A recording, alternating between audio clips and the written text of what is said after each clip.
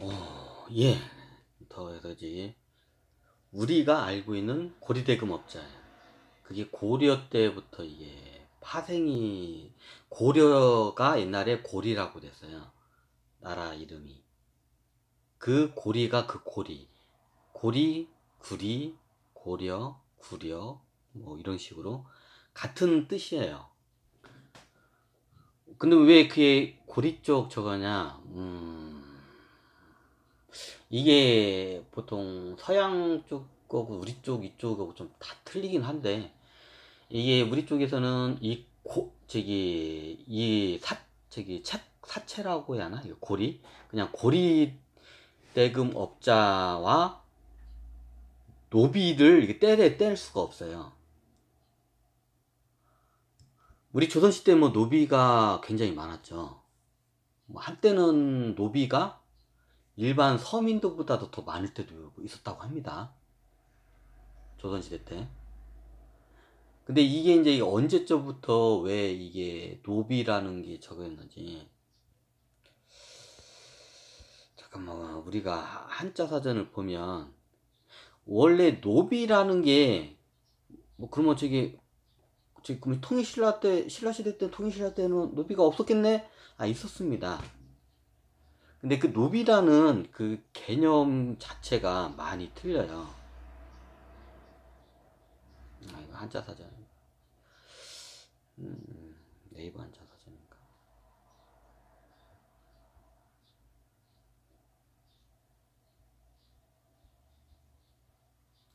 원래 노비 할 때 노, 노자가 이게 중국에서 건너 들어온 아, 일단 한번 볼까요? 이게 그냥. 어우 이게, 목이 따갑지? 갑자기 어이구 어이구 음, 바뀌면 또 조용해졌지?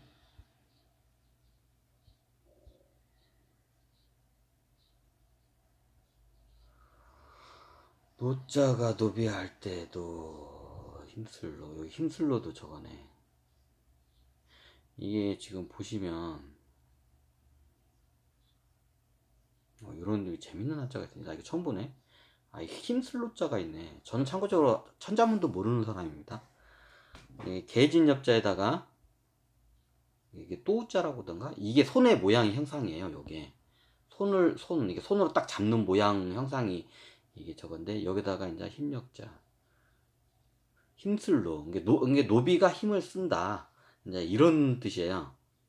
보통 우리 예전에도 제가 강의를 했지만 한자가 이게 한반도에서 나가서 중국에서 꽃을 피운 문자예요.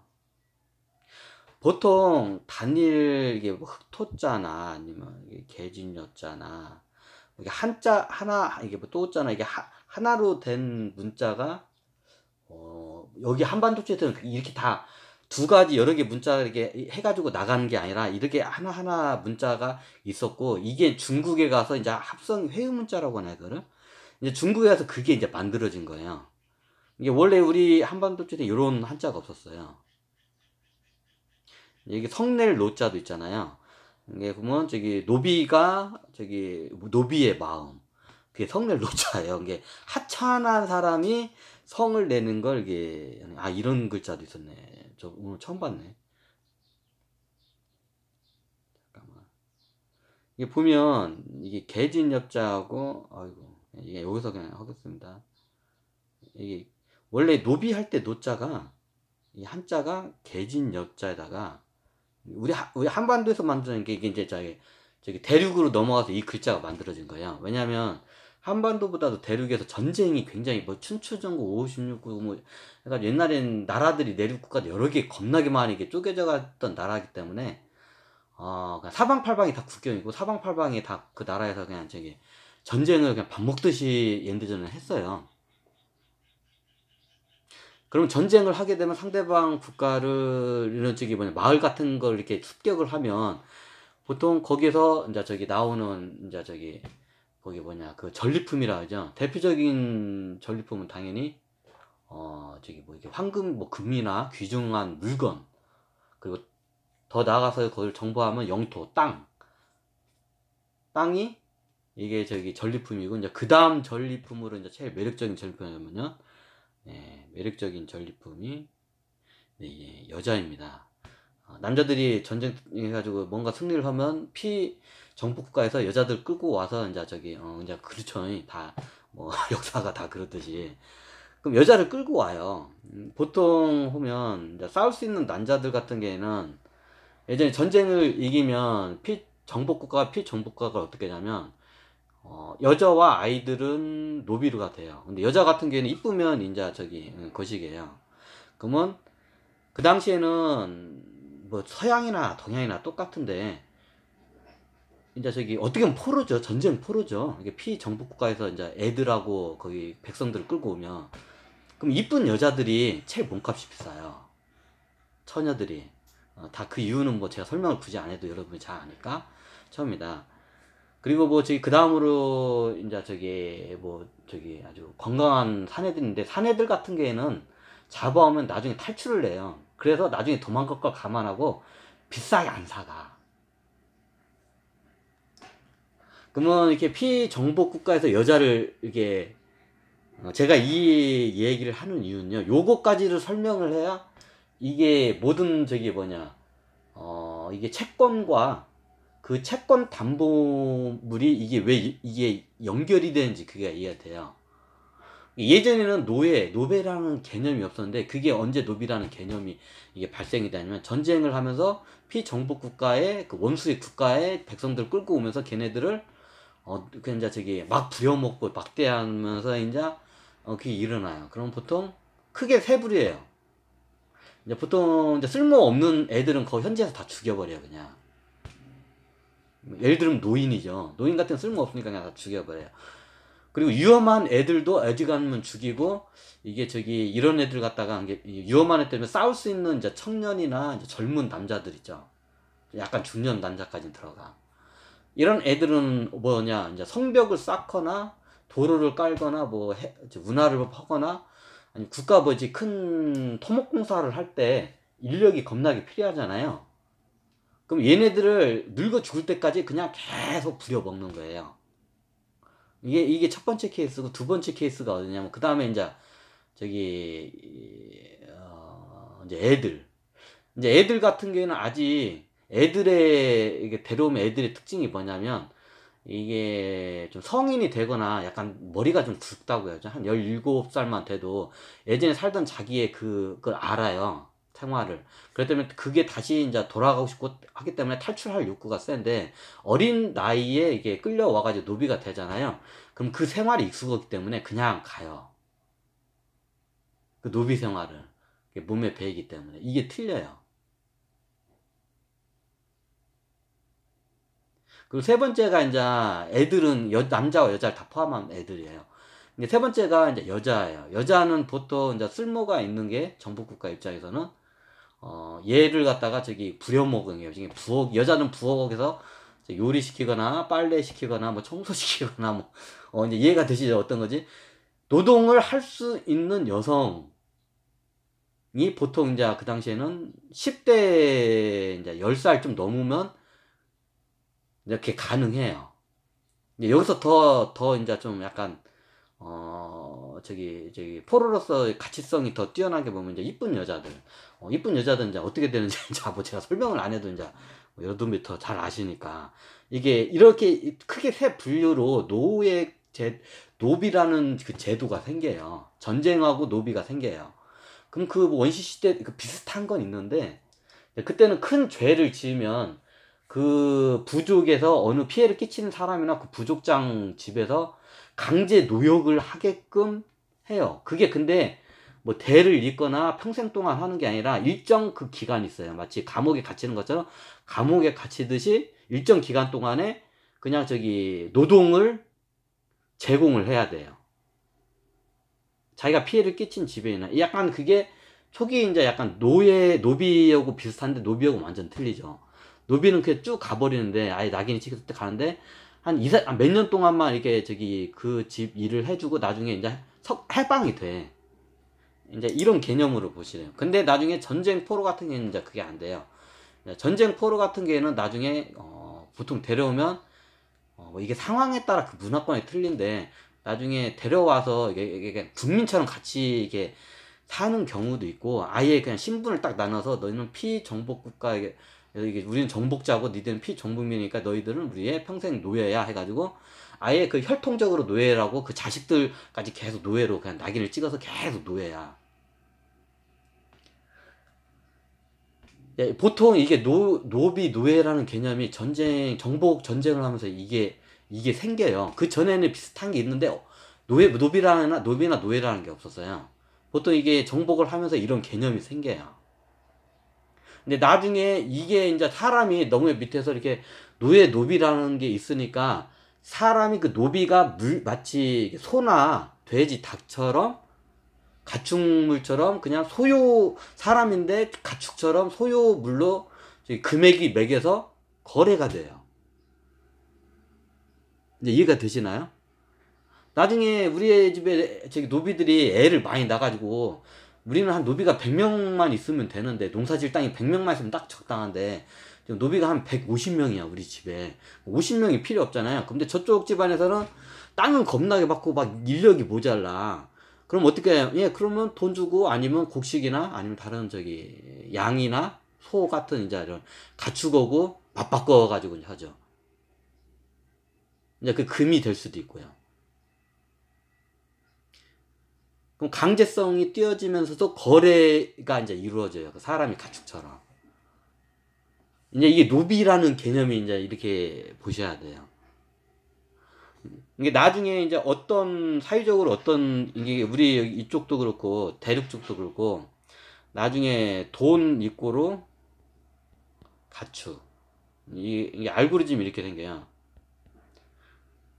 돈 입고로 가축, 가축 입고로 노 노비 노비 어, 우리가 아는 개진년자자에다가 손으로 잡은 모양의 형상 이제 이게 사회적으로 이제 경제적으로 이게 이루어져요. 이게 채권을 역사적으로 고리대금을 알려면 요, 요 먼저 알고리즘을 먼저 알고 가야 돼요. 자, 돈 equal 가축, 가축 equal 노비. 가축 예전에 조선시대는 말 한 마리하고 노비 한 노비 한 저기 대여섯 명하고 같은 가격이었어요. 그러니까 내 그러니까 물물 교환하자면 내가 저 집에다 말 한 마리 주잖아요. 그럼 저 집이 노, 노비 한 대여섯 저기 여섯 명을 내가 데려올 수 있는 저기 그, 그 권한이 있는 거예요. 그러니까 쉽게 말하면 말 한 마리하고 어, 노비 여섯 명하고 가격이 똑같아요. 이제 이해가 되시나요? 이게 그러면 이게 원래 전쟁에서 피정복 국가로부터 온 저기 이제 저기 강제 노역을 할 수, 노동을 시킬 수 있는 그 포로를 갖다가 이게 노비가 되는 거예요. 근데 이게 나중에는 그 자식들까지 계속 낙인이 찍어 노비들끼리 이제 결혼 저기 애를 낳을 거 아니에요. 그럼 당연히. 그러면 그 자식들도 똑같이 마치 가축이 우리가 우리 집에 소나 돼지나 개가 저기 새끼를 낳으면 그게 누구냐? 그게 저기 주인 거잖아요. 똑같아요. 노비가 새, 새끼를 낳으면 어, 똑같아요. 자, 이 개념을, 이, 뭐, 저기 사람들 이런 말 할 거야. 아우씨, 뭐, 그럼 굳이 가, 아우씨, 뭐 말도 안 돼. 아우씨, 뭐, 비, 어, 그, 그, 그때적인, 어우, 뭐, 이렇게. 아, 근데 역사는 역사에 바로 알아야 돼요. 역사를 바로 알지 않으면 똑같은 일을 항상 반복이 돼요. 자, 제가 이 얘기를 하고, 여러분들이 현재 처한 상황이 별로 높이하고 큰, 이게, 거시기가 틀리지 않다는 거를 나중에 이거를 알 수가 있는데 아, 자 여기서 한번 다시 더 들어갈게요. 그냥 다시 본론적으로 예전에는 돈 입고로 전복 쟁쟁 하게 되면 포로를 끌고 오잖아요. 그러면 예전에 뭐 영화 같은 뭐 경매장에서 막 이렇게 팔잖아요. 이게 포로들을 노비로 팔잖아요. 예, 그렇게 해서 팔아요. 이게, 이게, 포로들 겁나게 끌고 왔는데 얘들 뭐 쓸 데도 없고, 얘들 뭐, 네, 근데 이게 막상 끌고 오니까 저기 집에 저기 이제 저기 어, 노동력이 겁나게 필요한 지주들이 많은 거야. 이해가 되시나요? 그냥 포로로 데려오면 얘네들 계속 먹여 살려야 하니까 그냥 식량만 계속 축내고 안 좋은 것 같은데 나중에 이걸 사가니까 이게 돈이 되는 거야. 그러면 이제 노예 시장이 열리죠 당연히 이제 노비 시장이라고도 하죠. 우리 쪽은 노베, 이제 서양은 노예. 뭐 결론은 같은 건데 뭐 틀리다고 한, 주장하는 사람도 있는데 결론은 뭐 저기 사회적 제도가 약간 틀릴 뿐이지 같은 저거예요. 그러면 이게 왜 이게 우리가 고리 대금 우리 쪽 채권은 고리 대금이에요 역사적으로 그럼 그, 그 고리 대금의 파생이 역사적으로 어디서 왜 고리 대금이라고 하는지 그 알라면 요거부터 이해를 해야 돼요 어, 정복 전쟁과 노, 그 노예 노예 시장 노비 시장 뭐 가축 오고 노비 오고 그냥 동격화예요. 오히려 가축이 더 비싸요. 소 소 한 마리 값이가 저기 노비 몇 마리 아 몇 마리 노비 몇 명 값하고 같아요 가격이. 자 옛날에는 돈 입구로 뭐 저기 여기서 곡식이라고 하죠 그냥. 우리 한반도 쪽은 농림사이기 때문에 곡식. 그게 보리일 수도 있고 쌀일 수도 있고 조일 수도 있습니다. 곡식이가 있어요. 자 왜 이 얘기를 하는지 자 이제 이제 이제 이 얘기 들어야 돼요 자 이 노비는 자 전쟁 전쟁 노비예요 그냥 전쟁 노예라고 할게요 그냥 노골적으로 자 여기는 전쟁 노예예요 자 이해가 되시죠? 전쟁 노예예요. 자 곡식, 돈, 가축, 전쟁 노예. 돈이 있으면 전쟁 포로 된 노, 저기 포로들을 노예로 살 수가 있어 노비로. 그게 노비예요. 실제 우리 한반도에서 노비에 저기 예전에 노비가 없었어요. 아예 없었던 건 아닌데 이렇게 소수적으로 전쟁을 치르면 포로들이 오잖아요. 그럼 그 포로들을 팔아요. 이게 노비 시장에서 노예 시장에서 실질적으로 팔아요. 아니 지금 좀 싸나온 애들은 국가 이런 저기 성 같은 데싼 데서 이렇게 그냥 죽을 때까지 쌓다가 중간에 그냥 저기 죽는 경우가 많은데 보통 이래요. 그럼 똑같은 사람인데 여기 오니까 뭐 노비라는 게 있고 이게 물건처럼 대해야된 거야. 근데 이민족이죠. 우리 한반도 이쪽 사람이 아니라 우리 입장에서 봤을 때는. 근데 우리도 이제 전쟁을 이제 북쪽 만주 이쪽으로 해서 옛날 신라나 통일신라나 이제 통일신라 때부터만 얘기할게. 통일신라나 고려 때 이게 빈번하게 당연히 일어났겠죠. 그럼 그에 대해서 우리도 포로를 많이 데려갔고 반대로 포로로 끌려가기도 했어요. 끌려가면 예 그쪽 이제 노비가 되는 거야 이제. 그럼 끌고 오면 이제 우리 쪽에서도 이제 노비 시장에 팔려요. 그러면 예전에는 이게 전쟁이 많이 없을 때는 이런 노비가 별로 없었어요. 아주 귀했고. 그리고 어느 정도 되면 자식 때까지 물려주지 않았어요. 옛날에는.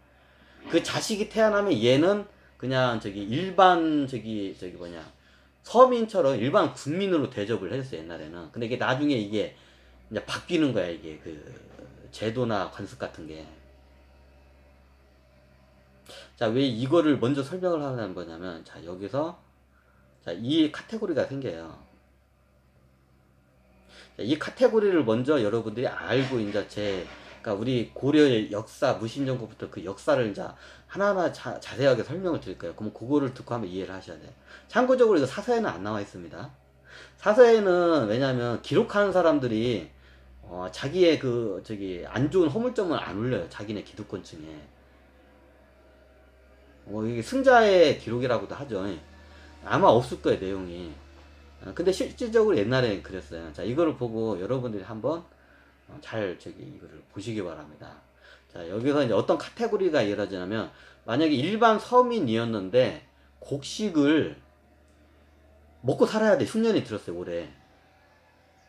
그리고 전정태 저기 우리 아버지가 끌려가지고 농사를 못져 농사를 제대로 못 져서 또 저기 그 저기 다른 집은 다 저기 이렇게 풍년이 들었는데 우리 집은 아버지가 다쳐가지고 팔 팔다리가 잘려가지고 전쟁 때 끌려가지고 일을 못해. 그러면 당연히 농사를 제대로 못 짓겠죠. 뭐 어린 애들하고 그 여자들은 그 한계가 있으니까. 그러면 농사가 잘 안 되면 식량을 저기 확보를 못하면 다 가족이 굶어 죽겠죠. 그럼 어떻게 됩니까? 어, 빌리로 누군가한테 빌려야 돼요. 그럼 대부분 그 당시에 누가 빌, 누구한테 빌려가냐면 그 지역의 유지들한테 이제 가게 돼요. 땅도 많고 이제 저기 거기 곡식 토출량도 이게 많고 이런 저기 이제 농업 국가 농업 사회니까 고려 시대 때 그럼 빌려로 가요. 그럼 나중에 그거를 갚아야 하는데 아버지가 뭐 올해도 일을 못했는데 내년에도 일을 잘 할까요? 전쟁터 가서 팔다리가 잘려가지고 왔는데 못 오겠죠 당연히.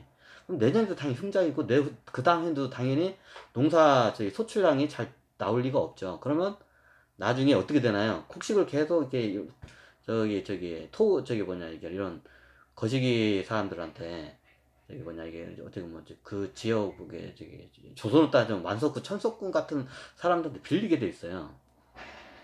그럼 나중에 처음에는 못 갚으면 이제 이자가 이제 원금을 넘거면 못 갚으면 땅을 뺏겨요. 근데 배운 게 농사밖에 모르니까 땅을 뺏기면 거기서 농사를 지으라고 해요. 그 대신 소장농으로 전락을 해요. 순서가. 그 다음에 소장농에서 정사했는데 저기 아버지가 다쳤는데 뭐 다, 음 잘 될까요? 애가 애, 애가 뭐 갑자기 크는 것도 아니잖아요. 이제 다음에 조금 크긴 크는데. 근데 얘가 이제 저기 농사가 안 되고 서면 이 집에서 나중에 계속 오히려 비, 저기 곡식을 더 이제 이게 빌리게 되면 나중에 첫 번째로 이자도 못 갚고 이자가 이제 원금을 넘고 도저히 가, 누가 봐도 그 고, 저기 이자를 갚을 수 없는 상황이 돼요. 이게 옛날 고려 시대 때 얘기예요. 그래서 옛날 고려를 고리적이라고도 많이 해요. 고리, 고, 나라 이름을 고리적. 고리라고. 고리가 저기, 이게 금속의 저기, 구리라는 뜻이기도 한데, 그래도, 고, 근데 어떤 분들은 이게 사체가 고리로 이렇게 해가지고 꽝꽝 묶었다고 이게 하는 말도 있는데, 뭐, 그, 그 말도 틀린 말은 아닌데, 원래 원어가 고리, 이게 조선시대 때 이제 그 고리대금 업자라는 말이 조선시대 때 생긴 거예요. 옛날 저기 고리 시대 때 이제 저기 돈 빌려주고 그 저기 어 저기 이게 그 이자 받고 이렇게 하는 그런 사람을 옛날 고리 고려 시대 때 그 돈그 대금 대금 큰 돈 대금 업자. 고려 시대 때 큰 큰 대자가 이게 그, 금이 이제 금. 금이 이제 돈이죠. 큰 돈을 갖고 있는 업자. 이제 이런 이런 식으로 이제 조선 시대 때 그 말이 생긴 거예요. 고려 시대 때는 그 말이 없었어요.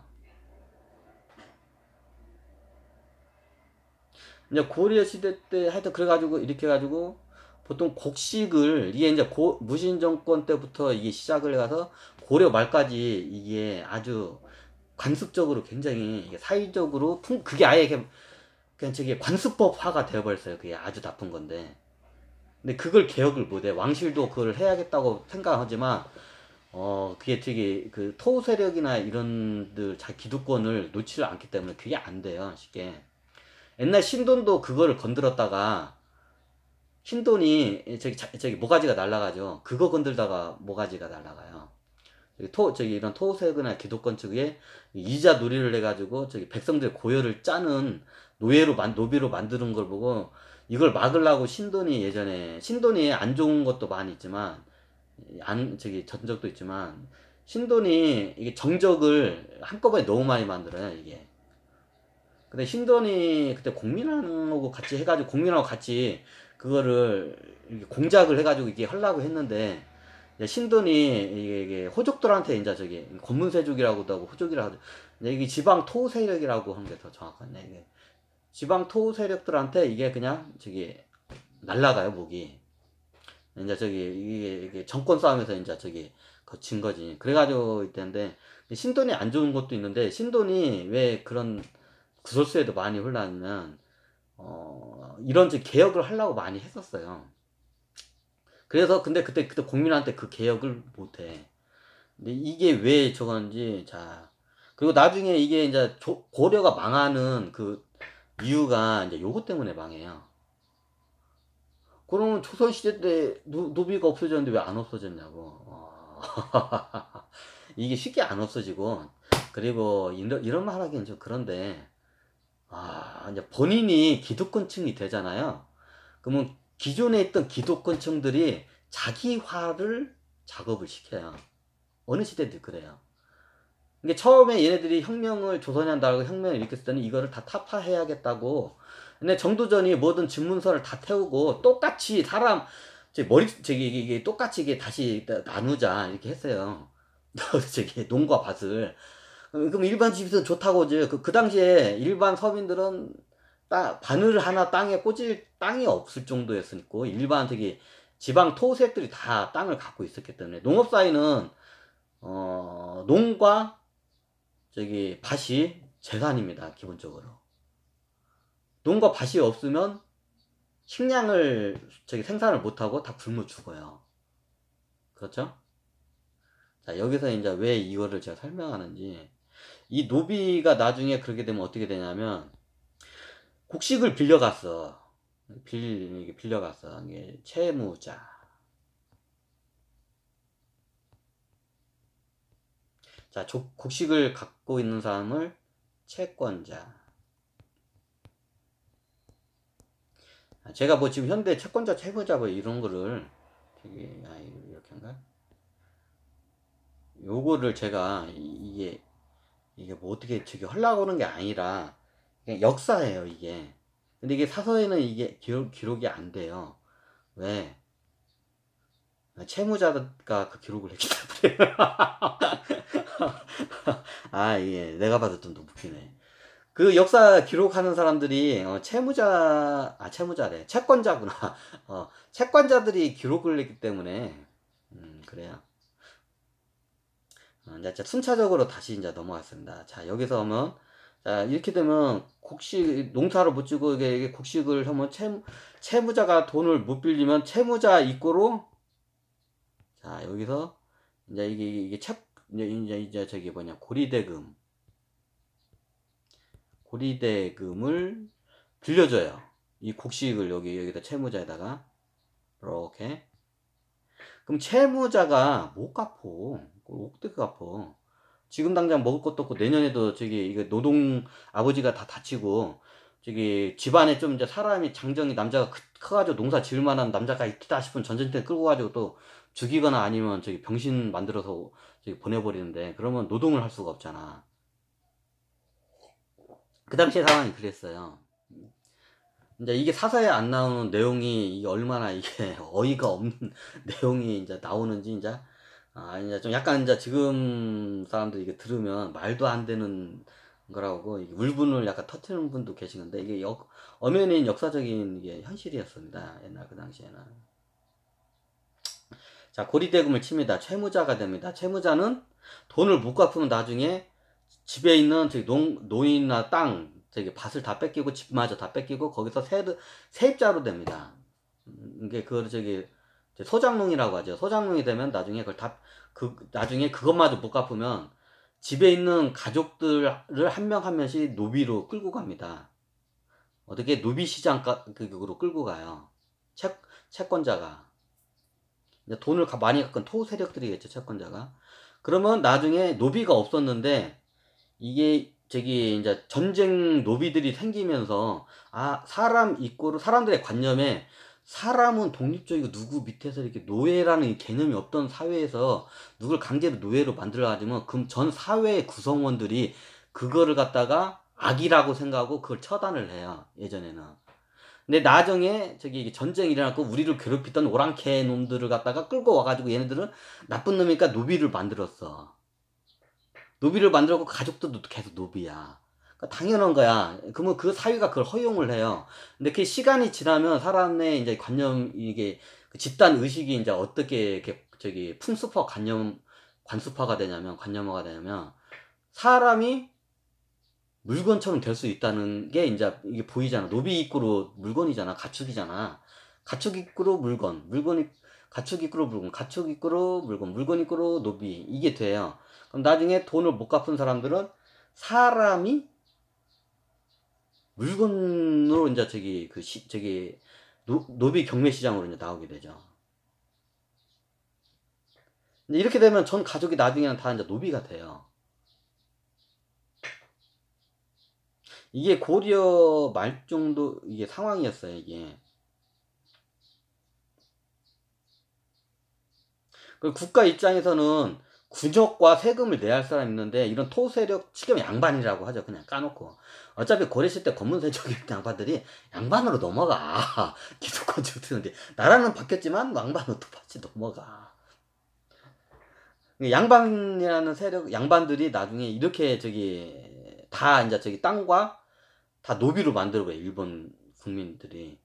자, 이 작업을 고리 시대 때 굉장히 조직적이고 아주 저기 어 저기 그걸 그 패턴적으로 아주 그걸 저기 이거를 어, 온 국민을 다 저기 귀족들이 호족들이 그냥 호족들이라고 할게요 호족들이 저기 저기 국민을 갖다가 노예로 만 노비로 다 만들라고 해요 그러면서 왕권은 더 약화되죠 원래 귀족들이 노비가 많아지고 귀족 원래 귀족들은 뭐 저기 저기 뭐냐 세금이나 이런 데서 기본적으로 면제예요. 옛날 양반들이 세금 냈다는 소리 들어봤어요 조선시대 때?